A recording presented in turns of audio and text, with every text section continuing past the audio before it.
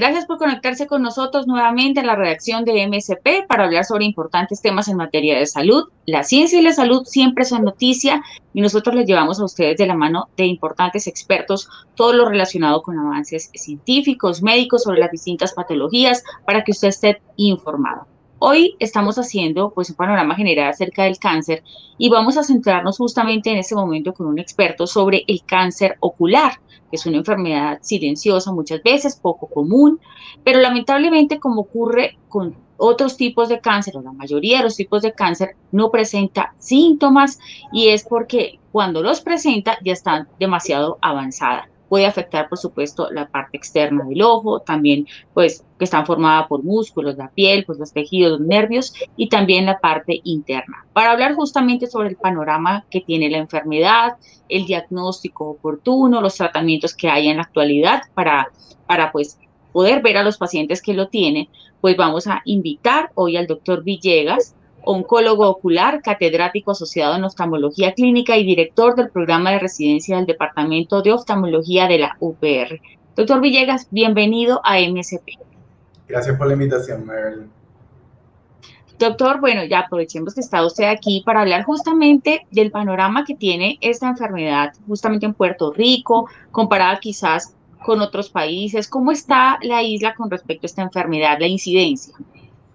Bueno, el, espectro de la oncología ocular puede ser bastante amplio. Va desde tumores de la superficie y los párpados hasta tumores que están dentro del ojo, como lo son el retinoblastoma, que es el tumor más común maligno en niños, intraocular, y el melanoma de uvia, que es el tumor primario más común en adultos, eh, intraocular. Eh, eh, gracias a Dios, estos tumores son relativamente raros. Eh, sin embargo, cuando ocurren, pueden ser extremadamente agresivos. Y dependiendo de cuán rápido se detectan, va a depender el resultado en el momento del tratamiento. Mientras más avanzado está, más difícil de tratar y menos posibilidades de preservar el ojo o visión potencialmente existen. En Puerto Rico, digamos, hay, unas, hay muchas personas que presentan, eh, presentan este tipo de, cáncer o, son más bien pocas o acuden a tiempo, digamos, para un diagnóstico oportuno. Como le dije anteriormente, es, esto es relativamente raro. Este, sin embargo, eh, usualmente hay algunos oftalmólogos que se especializan en este tipo de, de cáncer y son los que usualmente manejan la mayoría de la patología. Así que si usted viniera a mi oficina, potencialmente pensaría que esto es bastante común, pero sin embargo, realmente es, es relativamente raro. Este, no existe ninguna evidencia que el retinoblastoma y el melanoma de uvia esté aumentando en incidencia. De hecho, se cree que está relativamente estable en los últimos años. Sin embargo, eh, debido a los avances en tratamiento, ha habido un cambio en tratar de preservar el ojo y preservar la visión, cosas que históricamente antes no se había podido hacer. Y ah, gracias a Dios, pues ahora este, tenemos muchos pacientes en nuestra oficina que manejamos constantemente para continuar no solamente preservando su vida, que es lo más importante, pero preservando la visión y manteniendo un grado de funcionalidad que realmente nunca se había visto. Mejorar la calidad de vida de los pacientes.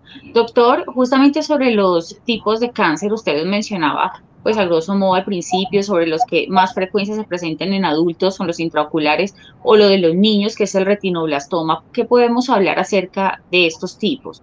¿Cómo son? Eh, creo que esto es una oportunidad increíble para concientizar a la población que por ejemplo, en niños, el tumor intraocular más común maligno es el retinoblastoma. Y este cáncer típicamente presenta cuando, eh, el signo más común es cuando el reflejo que típicamente en una foto es rojizo de la pupila, ese reflejo rojo cambia y se vuelve blanco.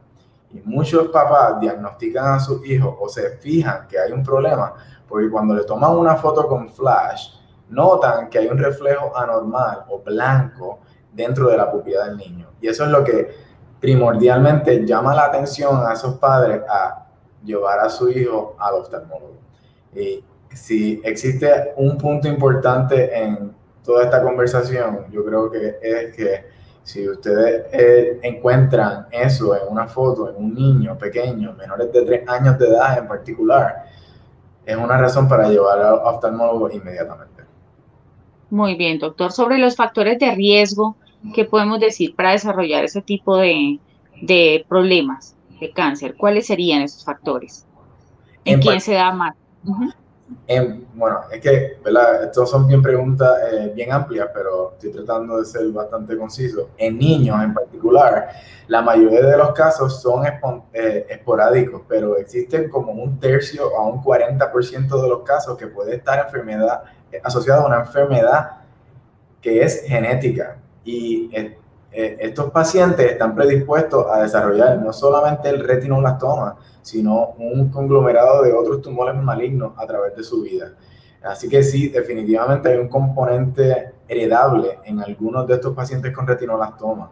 En melanoma de uvia, el factor más importante es ser de tez blanca, una persona con ojos claros y mayores de 50 años de edad. Esas son las personas que realmente están a mayor riesgo y otras personas que tienen un riesgo bastante elevado, que, eh, pero esto es más raro en términos de nivel poblacional, son pacientes que tienen un lunar alrededor de su ojo, conocido como un nevo de ota. Y a veces la gente ni siquiera sabe que tiene esto, eh, pero es un pigmento que está alrededor del párpado eh, y puede estar también en la parte blanca del ojo y cuando eh, usted tiene ese tipo de pigmentación alrededor de su ojo, usted tiene un aumento, un, riesgo sustancial de eventualmente desarrollar melanoma de uvia. Y estos son realmente los factores más importantes que nosotros buscamos cuando estamos tratando de evaluar riesgo. Perfecto. Doctor, en cuanto al diagnóstico, eh, ¿cómo es el trabajo que realiza un especialista en estos casos donde se presentan pues estos síntomas y cómo entran ustedes a determinar el tipo de cáncer? Digamos, ¿cómo es el diagnóstico que maneja?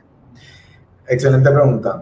Eh, a diferencia de la mayoría de los tumores malignos en otras partes del cuerpo donde típicamente se hace una biopsia o se hace una excisión. Se remueve un pedazo del tumor se, o completo o, se coge una pequeña muestra.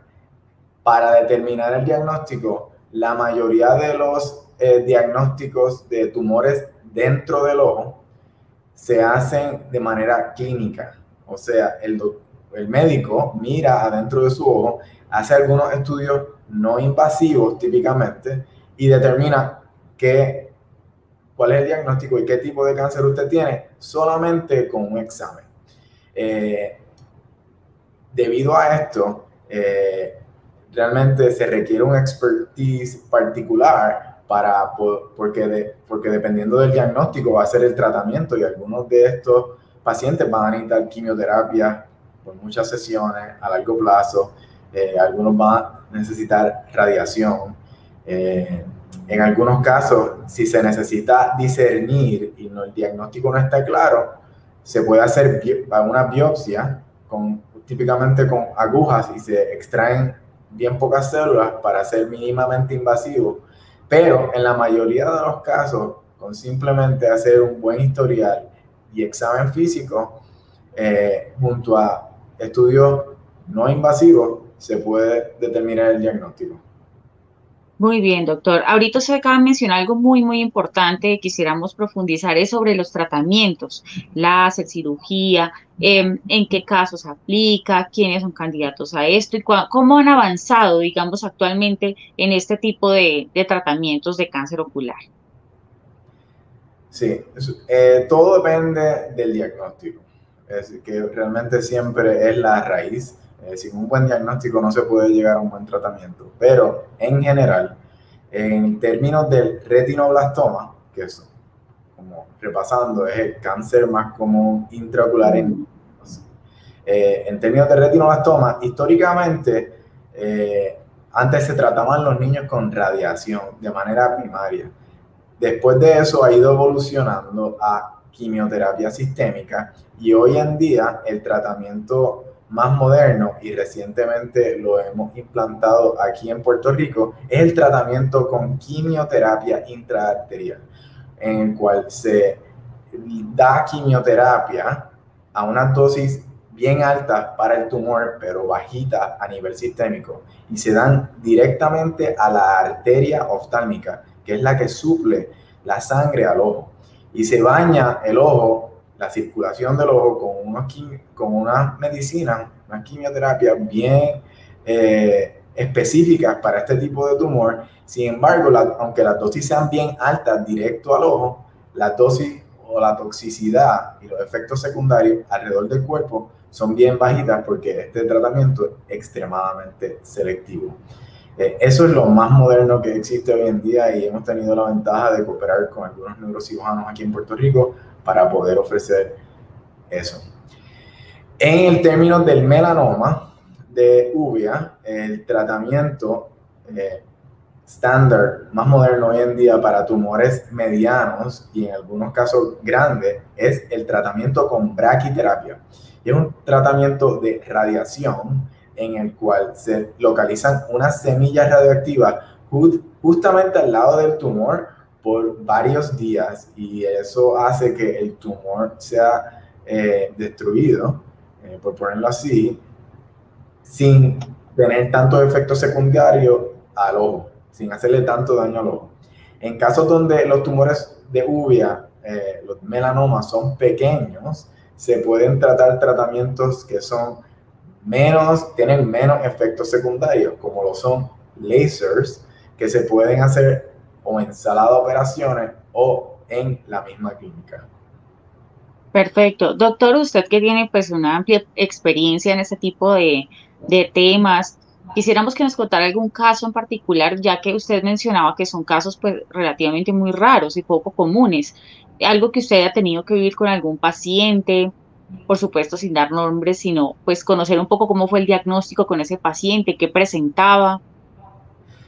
Eh, pues yo creo que eh, las historias son, todas son bien especiales cada vez que uno tiene que escuchar eh, a familias, especialmente niños, traer este tipo de problemas cuando uno atiende niños que tienen especialmente menores de 2, 3 años de edad que ya tienen cáncer eh, y tienes que expresarles toda la familia y tienes que guiarlos por todo el proceso de quimioterapia que en algunos casos son mensuales, casi siempre son mensuales por meses y a veces hasta años. Eh, realmente es duro para, no solamente para el doctor, sino para toda la familia, eh, pero eh, no hay duda que una vez estos pacientes responden y se pueden curar del cáncer y uno los ve crecer con el paso del tiempo, eh, hay un alto sentido de satisfacción que es difícil de describir, pero realmente pone en perspectiva todas las dificultades que uno pasa eh, y realmente da mucha alegría ver cómo estos niños siguen adelante en algunos casos eh, los puedes ver desarrollarse en eh, como personas completamente normales. Qué bueno, doctor, eso es muy importante porque es la parte humana, ¿no? La parte humana de, de, un médico cuando se enfrenta pues a este tipo de patologías y más cuando son niños. Antes pues de dejarlo y doctor, quisiéramos que nos diera algún algunas recomendaciones, esto lo ve toda la comunidad para prevenir, para hacerse chequeos oportunos, diagnóstico oportuno, eh, prevenir también pues el contacto con los rayos ultravioleta y pues una cantidad de cosas que debemos tener en cuenta para evitar que se desarrolle este tipo de cáncer. ¿Cómo podríamos prevenir, doctor? Bueno, Realmente no hay una guía en, términos de retinoblastoma y melanoma de uvia. No, hay ni, no se ha podido determinar ningún factor de riesgo en el ambiente particular que te ponga a riesgo de desarrollar este tipo de cáncer. Aunque hay algunos estudios que han sugerido que tal vez la luz solar podría aumentar el riesgo. Yo diría que en general lo más sabio, especialmente para tumores que son alrededor de los párpados, en la superficie del ojo, que posiblemente son los más comunes. gracias a Dios no son los más agresivos, pero son los más comunes. Eh, pues este tipo de tumor yo le recomendaría a todo el mundo que utilice gafas polarizadas y que minimice la cantidad de luz solar que recibe a sus ojos a través de todos los días. Y esto es importante porque nosotros vivimos en un área que hay mucho sol todo el tiempo. Aparte de eso, le diría que los niños pequeños hay que examinarlos, los niños, idealmente antes de que tengan un año de edad. Porque en ese momento es que se pueden detectar no solamente el retinoblastoma, sino un sinnúmero de otras condiciones que potencialmente pueden llevar a la ceguera. Y teniendo un diagnóstico temprano, realmente es que vamos a poder hacer una diferencia en estos niños a largo plazo. En términos de los adultos, que es otro espectro completamente diferente, yo le diría que después de los 50 años de edad, definitivamente debería de haber un aumento en cuántas visitas se hacen eh, al oftalmólogo. Por lo menos una vez al año sería ideal eh, para poder hacer pruebas de tamizaje y determinar si hay algún factor de riesgo que está poniendo al paciente en riesgo. Como por ejemplo sería tener un lunar en el coroide o un nevo coroideo, que es una lesión que potencialmente puede convertirse eventualmente en un melanoma de coroide. Perfecto, doctor. Mil gracias. Queremos agradecerle pues su tiempo por haber estado con nosotros, habernos dado pues este aporte tan importante al tema del cáncer ocular, que es poco común, pero no es menos peligroso ni es tampoco un, una, un factor para que no estemos atentos a nuestra salud que es lo más importante. Doctor Villegas, mil gracias por haber estado en MSP. Gracias por la invitación, fue un placer. A ustedes también los invitamos a revivir esta información sobre el cáncer ocular que no presenta síntomas, puede ser una enfermedad silenciosa y hay que estar muy atentos sobre todo a los niños en el caso del retinoblastoma que ya lo mencionó muy bien nuestro especialista invitado. Estamos en todas las redes sociales, lo invitamos a, consultar y compartir esta información con sus allegados o cualquier persona que le pueda interesar. Esta es la redacción de MSP. Feliz tarde para todos.